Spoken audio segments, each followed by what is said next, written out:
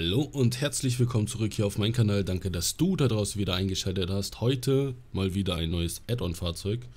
Und zwar für das LS Custom. Wie wir hier sehen, ist das Ganze auch schon auf Deutsch, ja.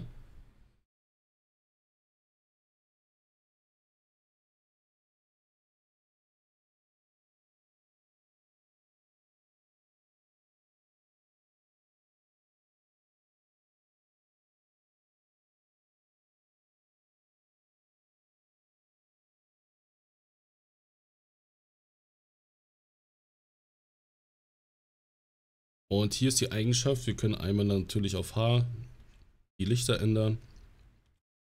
Dann haben wir auf jeden Fall noch die Möglichkeit, wenn wir E drücken, eine komplett Beleuchtung zu machen. Das ist halt gut in der Nacht, ja, wie wir sehen.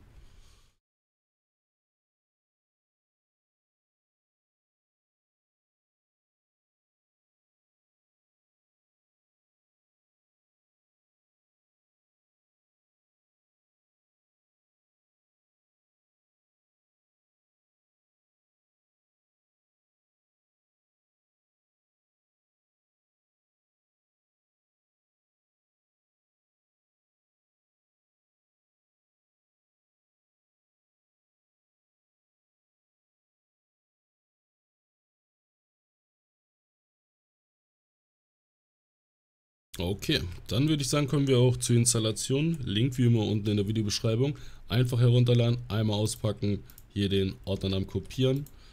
Und wir gehen in den Resource-Ordner und ziehen einfach diesen Ordner in den Resource-Ordner. Anschließend gehen wir zurück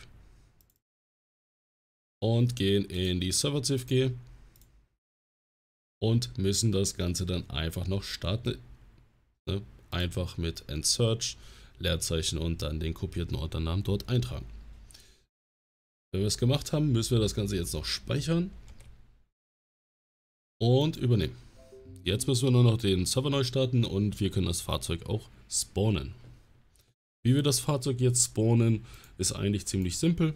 Wir gehen in den Ordner rein, beziehungsweise gehen wir kurz zurück. So, gehen in Data, Ordner, und hier öffnen wir das Ganze einmal und kopieren uns hier den Namen einfach aus und können das Ganze dann einfach mit slash k und dann den kopierten Ordnernamen mit Leerzeichen einfügen und einfach Enter drücken.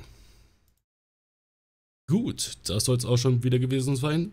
Falls euch das Video so wird gefallen haben sollte, dann lasst doch wie immer einen Daumen nach oben da, kommentieren, abonnieren nicht vergessen und wir sehen uns in der nächsten Folge wieder. Ciao, ciao.